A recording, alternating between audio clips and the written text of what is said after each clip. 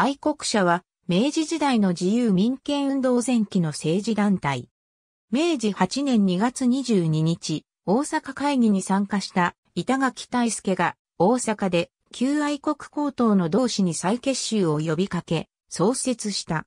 愛国者に参加したのは西日本の士族層で、これを板垣など高知県の立志社員が中心になって運営に当たった。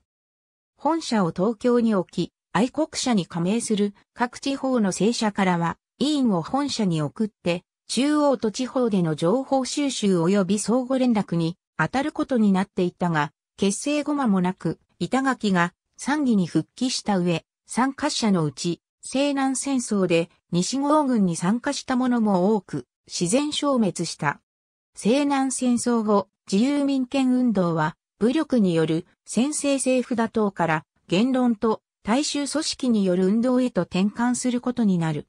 明治11年4月に立志者が中心となり、愛国者の再建を決定。9月に石川、愛知、和歌山、愛媛、香川、高知、岡山、鳥取、福岡、佐賀、大分、熊本各県から13社の代表が大阪に集まり、愛国者最高会議を開催した。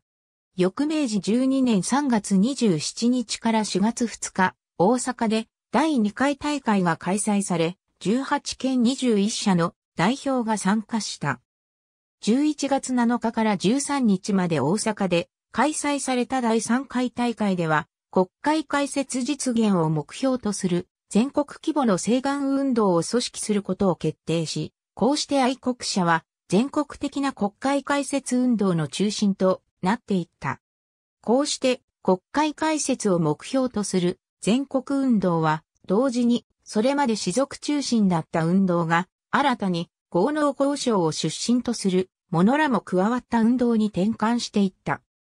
これに伴い愛国者についても立志者中心の運営に対する批判が高まり、ついには明治13年3月15日から4月9日までの第4回大会において愛国者とは別組織として国会規制同盟が3月17日発足した。ありがとうございます。